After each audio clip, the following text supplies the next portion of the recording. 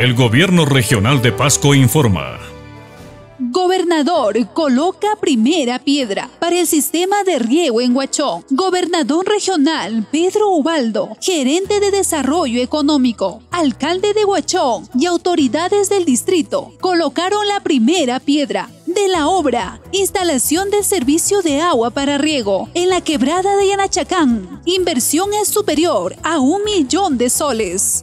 Se va a regar 150 hectáreas de terrenos y algo muy importante, por primera vez en la historia de Pasco, un gobierno regional busca una contrapartida a un ministerio que es Ministerio del Trabajo.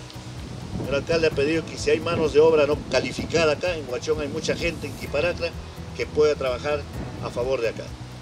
No quisiéramos estar trayendo de, desde, desde Huánuco, de de Paucartambo, de otros lugares. Hay que dar trabajo a la oportunidad. Estos cuatro meses, 61 personas deben trabajar por espacio de cuatro meses. Pero necesitamos acá apoyar en lo que es riegos tecnificados, en lo que es el tema de cobertizos. Necesitamos hacer proyectos de ganado vacuno, ganado ovino. Necesitamos llevar proyectos productivos a la zona, a toda la región.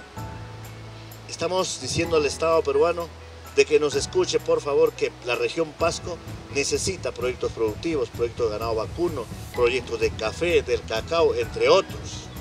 Este proyecto se inició y tiene antigüedad desde el 2011. Comentábamos antes con el alcalde, y prácticamente todos estos años ha estado abandonado y ya tenía un expediente viable. En consecuencia, aprovechando el convenio con el programa Trabaja Perú del gobierno central, es posible hacer por administración directa esta obra del sistema de riego que va a beneficiar a todas las familias asentadas a esta zona.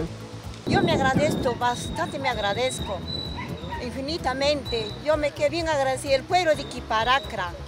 Qué hermosa, bella de Mayán. Ustedes han visto, han calificado cómo es la, zona de Quiparacra. Quiparacra es tan hermosa. Después de nueve años, se hace realidad esta obra. Los agricultores tendrán agua todo el año. Pedro Ubaldo, gobernador regional. Calidad de vida.